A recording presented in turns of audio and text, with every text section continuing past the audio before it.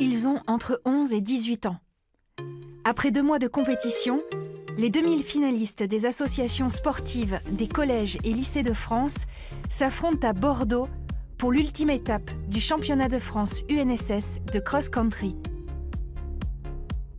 Rendez-vous en direct sur NOAA demain dès 11h30 depuis la plaine des sports Colette Besson et prenez le pouls de la compétition dès 9h30 sur les pages Facebook de France 3 Nouvelle-Aquitaine.